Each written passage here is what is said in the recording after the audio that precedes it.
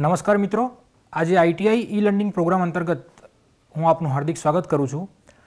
આજે આપણે ફિટર ટ્રેડના અંદર આવતા એક ટોપિક જેનું નામ છે lathe construction and it specification. એના વિશે આપણે થોડું ડિટેલમાં જોઈશું. તો ચાલો શરૂ કરીએ.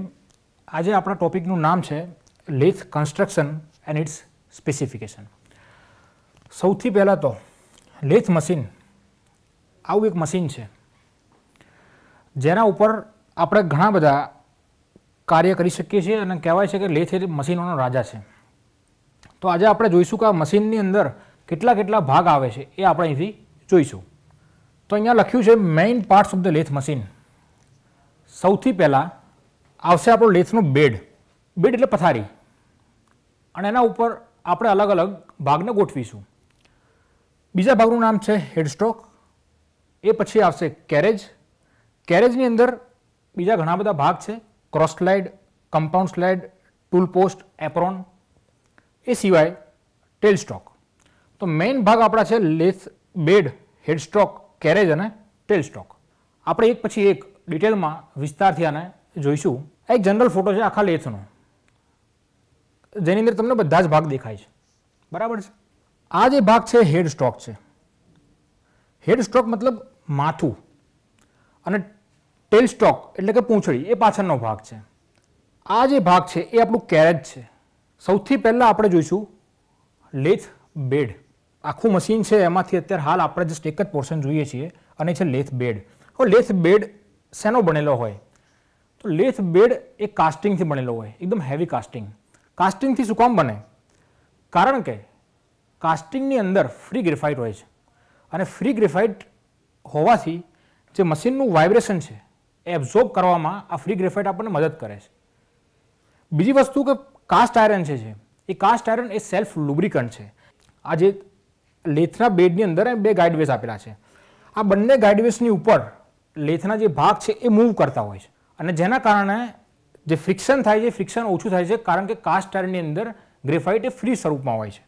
એટલા માટે આપણે લેથનો બેડ એ કાસ્ટિંગમાંથી બનાવીને વાપરીએ છીએ. એ હેવી કાસ્ટિંગમાંથી બનેલો એક ભાગ છે. વર્કિંગ પાર્ટ્સ જે છે લેથના, એને સપોર્ટ કરે છે અને એના ઉપર મશીન વેસ મતલબ કે ગાઈડ વેસ બનેલા હોય છે. અને ગાઈડ વેસની ઉપર લેથના જે ભાગ છે, બીજા જે ભાગ છે કેરેજ છે, એ બધું જ આગળ પાછળ થઈ શકે છે. હવે આપણે જોઈએ બીજા નંબરનો ભાગ, જેનું નામ છે હેડસ્ટોક આ આપણો હેડસ્ટોક છે. આ હેડસ્ટોકની અંદર એક ગિયર બોક્સ હોય છે. એની સાથે અહીંયા આગળ એક સ્પિન્ડલ હોય છે. અને એ સ્પિન્ડલની આગળ એક ફેસપ્લેટ અને ચક માઉન્ટ કરેલો હોય છે. તો હેડ સ્ટોક આપણને ગિયરનું એક માઉન્ટિંગ પૂરું પાડે છે અને ત્યાંથી આપણે આખા ગિયરને ડ્રાઈવ ચલાવી શકીએ છીએ. લેફ્ટ હેન્ડ સાઈડ આખા જે લેથોનો જે બેડ છે, એ બેડના ડાબી સાઈડનો ભાગ એ હેડ સ્ટોક કહેવાય છે. અને એની અંદર જે ટ્રાન્સમિશન છે, એ ટ્રાન્સમિશન માટે યા તો આપણે પુલી ડ્રાઈવનો ઉપયોગ કરેલો હોય છે, યા તો ગિયર ડ્રાઈવનો ઉપયોગ કરેલો હોય છે. બીજું છે કેરેજ. હવે કેરેજ શું કરે? તો કે કેરેજ જે છે એકચ્યુઅલીમાં એના ઉપર એક સેડલ લાગેલું હોય છે એચ ટાઈપનું અહીંયા આગળ આપણે જોઈ શકાય છે આ જે કેરેજ છે, આ કેરેજ આ જે હમણાં આપણે બેડ જોયો એ બેડની અંદર જે ગાઈડવેસ લાગેલા હતા, એ ગાઈડવેસની ઉપર આ જે કેરેજ છે, એ સ્લાઇડ થઈ શકે છે. કે જેના કારણે આપણે જે ટૂલ છે, એ ટૂલને આગળ પાછળ આપણી જરૂરત પ્રમાણે જે જોબને મશીનિંગ કરવાનું છે ટર્નિંગ કરવાનું છે ફેસિંગ કરવાનું છે એ પ્રમાણે આપણે આગળ પાછળ કરી શકીએ છીએ. અને કેરેજની અંદર પણ ઘણા બધા ભાગ છે, એ અહીંયા જોઈ શકાય છે. જેમ કે, કેરેજની અંદર કયા કયા ભાગ આવશે? તો સૌથી પહેલાં આવશે સેડલ. સેડલ એટલે શું? તો આજે એચ ટાઈપનો ભાગ દેખાય છે આપણને. ઉપરથી જોઈએ આપણે ટોપ વ્યૂમાંથી, તો આપણને એક એચ ટાઈપનો ભાગ દેખાય, એ આપણું સેડલ છે, કે જેના કારણે આપણે કેરેજને આખું આગળ પાછળ કરી શકીએ છીએ. એ જ સેડલની ઉપર ક્રોસ સ્લાઇડ આવશે. ક્રોસ સ્લાઇડ મતલબ લેથની જે સેન્ટર લાઇન છે, એને ક્રોસમાં મુવમેન્ટ આપવા માટે થઈ આના ક્રોસ સ્લાઇડ બનાવેલ છે. કેરેજની અંદર બે ભાગ જોયા આપણે, સેડલ અને એના ઉપર ક્રોસ લાઇડ. હવે ક્રોસ લાઇડની ઉપર આપણે જે માઉન્ટ કરશું એ છે કમ્પાઉન્ડ રેસ્ટ.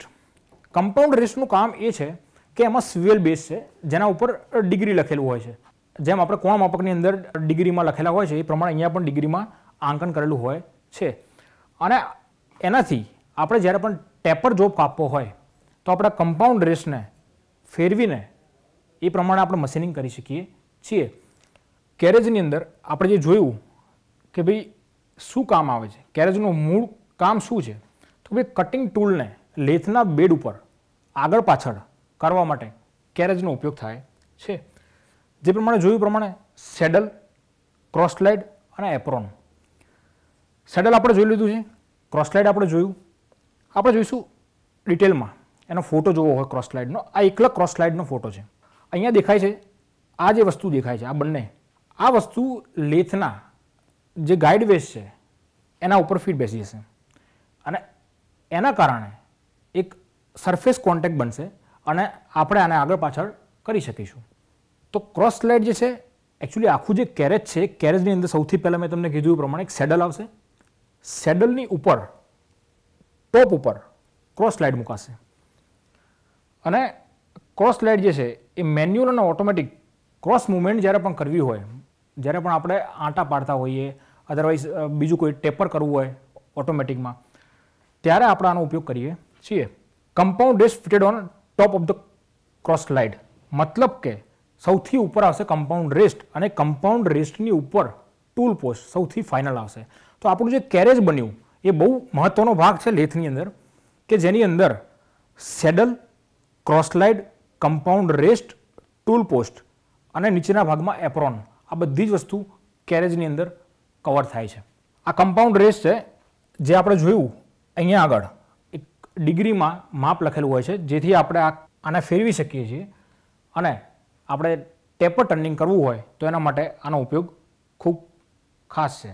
આ ટૂલ પોસ્ટ છે ટૂલ પોસ્ટની અંદર અહીંયા આગળ આપણે ટૂલ ભરાઈ શકીએ છીએ.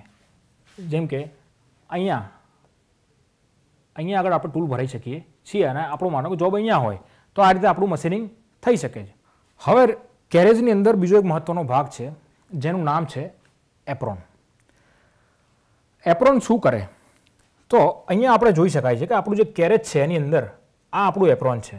આ જે દેખાય છે, આ પોર્શન ઓકે હવે એપ્રોનની અંદર અહીંયા જે આપણને બે દેખાય છે, એક ફીડ અહીંયા આગળ ફીડ રોડ છે. બીજું આવે લીડ સ્ક્રૂ હવે આનું કામ શું છે?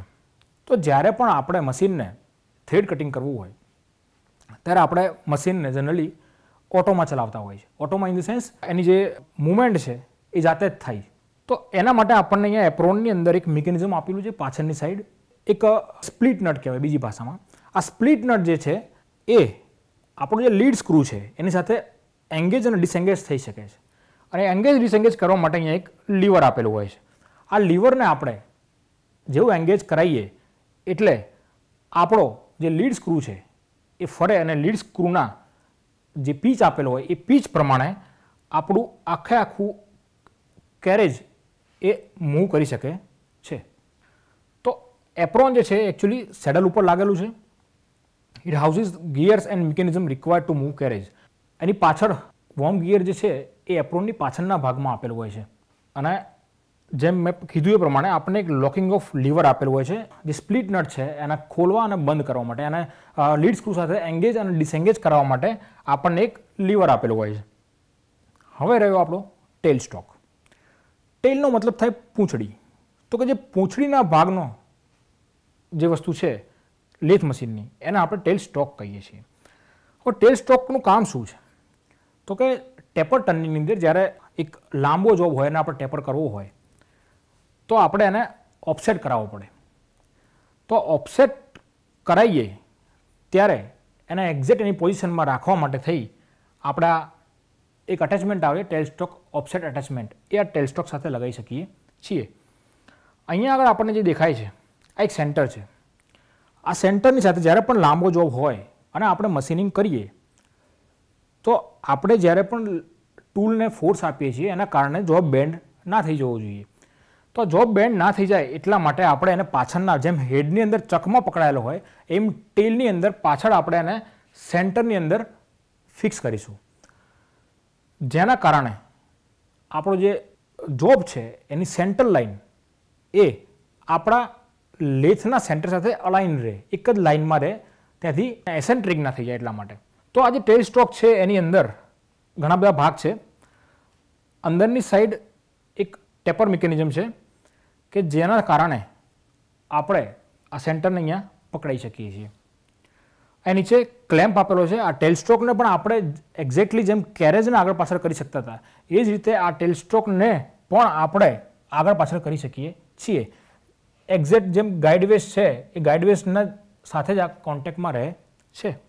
તો ટેલસ્ટ્રોક શેના માટે છે એકચ્યુઅલીમાં ટેપર અને પેરેલલ ટર્નિંગ કરવું હોય ઓકે એના માટે નીચે બે સ્ક્રૂ આપેલા છે બેઝની અંદર. એને ફિટ કરાવીને આપણે એને જે પોઝિશનમાં રાખવું હોય પોઝિશનમાં આપણે રાખી શકીએ છીએ. ટેલસ્ટોક સ્પિન્ડલની અંદર ઇન્ટરનલ ટેપર હોય છે. હમણાં મેં કીધું એ પ્રમાણે અંદરની સાઈડ ઇન્ટરનલ ટેપર હોય છે. જેમ આપણે ડ્રીલ મશીન હોય તો ડ્રીલની અંદર ચકની અંદર ટેપર આપેલું હોય શું કામ? તો સ્લીવને પકડી રાખે. એ જ પ્રમાણે અહીંયા આગળ પણ સેન્ટરને પકડી રાખવા માટે થઈ અને એક ઇન્ટરનલ ટેપર આપેલું હોય છે. આપણો પહેલો ટોપિક અહીંયા કવર થાય છે લેથ કન્સ્ટ્રક્શન હવે આગળ જઈએ લેથનું સ્પેસિફિકેશન સ્પેસિફિકેશનનો મતલબ શું? તો કે જે રીતે આપણે બજારમાં કોઈ વસ્તુ ખરીદવા જઈએ, તો આપણે એમને કહીએ કે ભાઈ, મને આ સ્પેસિફિકેશનની વસ્તુ જોઈએ. જેમ કે આપણે ટાયર લેવા જઈએ, તો બજારની અંદર આપણે ટાયર માંગવા જઈએ તો આપણે એની એક સ્પેસિફિકેશન કહીએ ભાઈ મારે આટલા ડાયામીટરનું આટલી વિડ્થનું બરાબર? આ એક મારું સ્પેસિફિકેશન છે. આ મારે જોઈએ. છીએ. એ જ પ્રમાણે લેથની અંદર તો આપણે લેથને સ્પેસિફાય કરવું પડે કે ભાઈ તમારે કઈ ટાઈપનું લેથ જોઈએ છીએ. તો સૌથી પહેલાં છે, એને પાંચ રીતે અલગ અલગ રીતે સ્પેસિફાય કરી શકાય છે. Length between the centres height of the centres swing diameter over the bed swing diameter over the carriage અને મેક્સિમમ બાર ડાયામીટર આપણે પાંચેય વસ્તુને વારાફરતી ડિટેલમાં જોઈએ. તો સૌથી પહેલાં છે લેન્થ બિટવીન ધ સેન્ટર્સ મતલબ શું થયું? It is the measure of the maximum length of the workpiece that can be fixed between the lathe centre લેથની અંદર બે સેન્ટર છે. એક હેડ સ્ટ્રોક છે ટેલ સ્ટ્રોક છે. અને આની વચ્ચે, જેમ કે અહીંયા આપણે ઇમેજમાં જોઈએ તો વધારે ખબર પડશે આપણને. આ આપણો હેડ સ્ટ્રોક છે, આ આપણો ટેલ સ્ટ્રોક છે. આ બંનેની વચ્ચે જે મેક્સિમમ લંબાઈ છે, આપણે ટેલ સ્ટ્રોકને છેક પાછળ લઈ જઈશું જે મેક્સિમમ એની મુવમેન્ટ છે એક્સ્ટ્રીમ એ પોઝિશનમાં આપણે એને લાવી દઈએ. અને આપણો હેડસ્ટ્રોક તો ફિક્સ જ છે. આ બંનેની વચ્ચે જે મેક્સિમમ લંબાઈનો જોબ આપણે પકડાઈ શકીએ છીએ, એને કહેવાય લેન્થ બિટવીન ધી સેન્ટર્સ બરાબર? જેમ કે આપણે બજારમાં લેથ લેવા જઈએ તો આપણે કંઈક ભાઈ ચાર ફૂટનો લેથ સાત ફૂટનો લેથ તો એ શું છે? એ છે લેન્થ બિટવીન સેન્ટર્સ બે સેન્ટર વચ્ચેની જે લંબાઈ છે, એ રીતે સ્પેસિફાય થાય એક આ રીત છે. બીજી રીત છે height of the centres distance between the lathe axis and the lathe bed અહીંયા આગળ આપણે આકૃતિમાં સમજીએ ને. લેથની એક્સિસ એટલે કે લેથની ધરી, આપણો હેડ સ્ટોક આપણો ટેલ સ્ટોક એની વચ્ચે એક આપણે આભાસી લાઈન નક્કી કરીએ, તો આ લેથની ધરી કહેવાય. અને આ લેથનો બેડ આને કહેવાય હાઇટ ઓફ ધ સેન્ટર મતલબ કે આ જે છે, એ નીચેથી કેટલું છે? એને કહેવાય height of the centre swing diameter over the bed it is the maximum diameter of the workpiece that can be turned on a lathe without hitting lathe bed. Maximum diameter જો આ ત્રિજ્યા થઈ, આ જે ધરી હતી, એ ધરીથી આ ગાઈડવેસની જે હાઇટ છે, એ કોઈ જોબ છે, એની ત્રિજ્યા થઈ. તો એનું ડબલ એટલે કે વ્યાસ. આનાથી મોટો જોબ આપણે લઈશું, તો એ જોબ અહીંયા આગળ ગાઈડવેસને ટચ કરી અને ફેલ થઈ જશે. આનાથી વધારે મોટો જોબ આપણે આ પર્ટિક્યુલર મશીન ઉપર ના કરી શકીએ મશીનિંગ તો એ જે ડાયામીટર જે સ્પેસિફાય કરવાનું થાય, એને કહેવાય swing diameter over the bed એ જ પ્રમાણે swing diameter over the carriage જોઈશું. જેમ એક ડાયામીટર એવો ડાયામીટર કે જે બેડને ટચ થયા વગર ઓકે હીટ થયા વગર જે મશીનિંગ કરી શકાય, એને swing diameter over the bed કહેવાય. એ જ પ્રમાણે કેરેજને ટચ થયા વગર અથવા તો હિટ થયા વગર ઓકે જે ડાયામીટરને તમે મશીનિંગ કરી શકો છો, એને શું કહેવાય? Swing diameter over the carriage આપણે આકૃતિમાં જોઈશું વધારે ખબર પડશે આપણને. આ ગાઈડ બેઝ હતું. જ્યારે swing diameter over the bed આપણે ગણતા હતા, ત્યારે આપણે આપણું ત્રિજ્યા જે છે અહીંથી ગણતા હતા, અહીંયા સુધીની. ઓકે હવેના કેસમાં શું છે? Swing diameter over the carriage જ્યારે ગણીએ, ત્યારે આપણે કેરેજથી લઈ અને આપણે જે એક્સિસ છે બે સેન્ટર વચ્ચેની, ઓકે?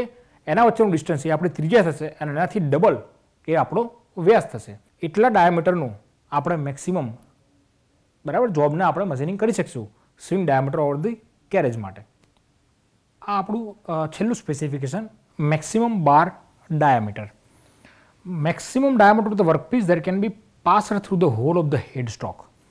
મતલબ કે આ જે હેડસ્ટોક છે, એ હેડસ્ટોકની અંદર એક આપણી જે સ્પિન્ડલ છે એ સ્પિન્ડલની અંદર જે હોલ છે, એની જે સાઇઝ છે, એ જ સાઇઝનો જે ડાયામીટર છે, એના આધારે આપણે એનું સ્પેસિફિકેશન કરી શકીએ છીએ. તો એને કહેવાય છે maximum diameter of the bar અથવા તો workpiece that can be pass through the hole of the headstock તો મિત્રો, આજે આપણે લેથ કન્સ્ટ્રક્શન એન્ડ સ્પેસિફિકેશન વિશે જે માહિતી મેળવી, એ આપ સારી રીતે સમજ્યા હશો. એવી આશા રાખું છું.